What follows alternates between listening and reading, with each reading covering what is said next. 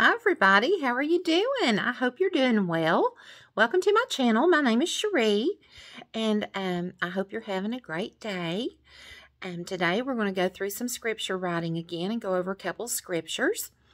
I hope that uh, you get something from this video. If you do, just hit the like button and subscribe to my channel if you've not already. I'd really appreciate it. Um, it's kind of a cloudy day here in Kentucky today. It's not really sunny. Maybe the sun will burn that haze off after a while, but we've had some really pretty weather. So if you want to get your Bibles, if you haven't already, uh, we're going to be in the book of Second Timothy, chapter 1, verses 6 and 7. And that's our scripture writing for today. So uh, if you want to um, go on and do that, you can pause the video and go get that if you want. And um, in the meantime, I'm going to get my stuff ready. I've not got my stuff ready yet. I just wanted to get on here and say hi and get this done. I did not get a chance to do yesterday's at all. So I skipped yesterday, but that's okay because sometimes we just can't get to it every day, and that's all right too. You know, I did pray yesterday and stuff like that. So, you know, it's okay. Don't don't hound on yourself if you skip days or something. It's okay. You can always just read it. If you don't want to write it, you can just read it. So, let me get this going here. I'll flip my camera around here in just a minute. I've got to get uh, got to get situated here. Okay. Let's see. This one's good today. Very good today. Okay, let me flip you around here. Here we go. Get my finger out of the way. All right. So, let me get my bearings again. Okay, today is, today is 10, 13, 21. And we are going to be in 2 Timothy.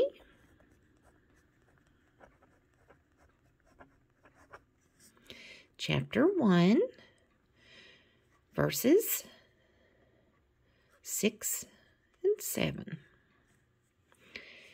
And in verse 6, we'll read it. Uh, let me take you over here to my Bible in case you don't have yours out. You can read along with us. Whoa, I'm sorry I dropped you. Hope I didn't knock your head off. Okay. I'm sorry. Okay, here we go. It says, For this reason, I remind you to fan into flame the gift of God, which is in you through the laying on of my hands. For the Spirit of God, the Spirit God gave us does not make us timid, but gives us power, love, and self-discipline. Now, the life lessons in this is, it says, For this reason, I remind you to fan into flames the gift of God which is in you. Fan into flame in this verse means to incite, stir up, or stimulate. We are to encourage and motivate others to the faithful to the Lord. Excuse me, others to be faithful to the Lord. God never takes away the spiritual gifts that he bestows upon us, but they can lose their effectiveness through our neglect or misuse that God instructs us to use our gifts for the benefit of his people in obedience to him. And verse 7 says, The Spirit God gave us does not make us timid, but gives us power, love, and self-discipline. Fear focuses our attention on ourselves and on things we do not need to consider. It fills our minds with hypothetical situations that all end in defeat and ruination. Eventually, it utterly consumes us. This is why we cannot shrink back in obeying God and using the gifts He's given us because He's ultimately in control of our futures. And we are never victims of our circumstances. We are overwhelmingly triumphant in Christ, and we must act like it. And isn't that the truth? We need to spread the gospel. We need to tell others about Jesus and spread the gospel and live a life the best we can according to Him, according to His Word. And it says, for this reason,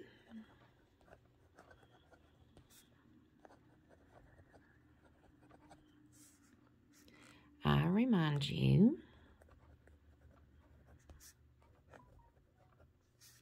to fan into the a flame, to fan into flame the gift of God which is in you.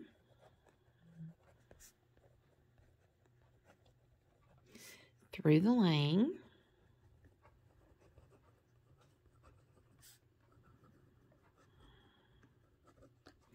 on of my hands.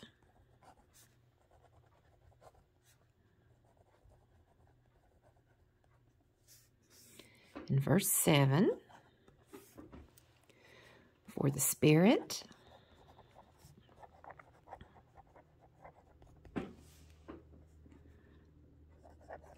of God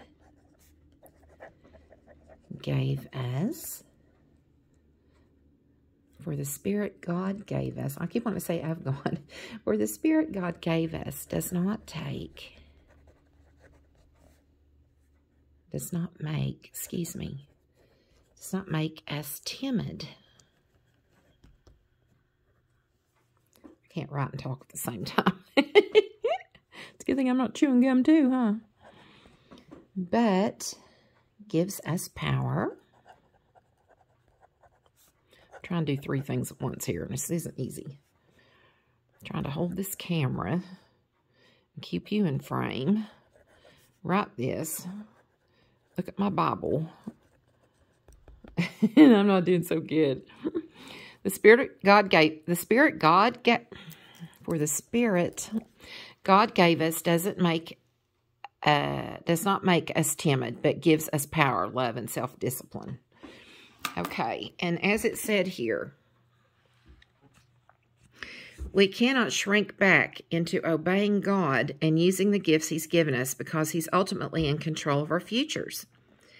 And we are never victims of our circumstances. I like that. We are overwhelmingly triumphant in Christ, and we must act like it. So we are not going to be victims of our circumstances. If things happen that are not good and it gets you down, we are going to pick ourselves right back up and dust ourselves off, and we're going to keep going in the name of Jesus, right? Right. That is what we are going we are. So, um, anyway, that's all there is to writing that scripture out. I just wrote it out, and that's all there is to it. So, I hope that you enjoyed this video. I hope that, um, you know what? Wait a minute. I just seen something in this Bible that I didn't realize was on there. It says, how can I combat my fears? Hey, this goes right into what we're studying. Hang on a minute. I about skipped a good part here. I'm so sorry. It says 2 Timothy verses 1 and 7. So that was one of, oops, I'm sorry. That was one of our verses. So let's see what it says about that. If I can go over it real quick, okay? I won't keep you long. Let me see if I can...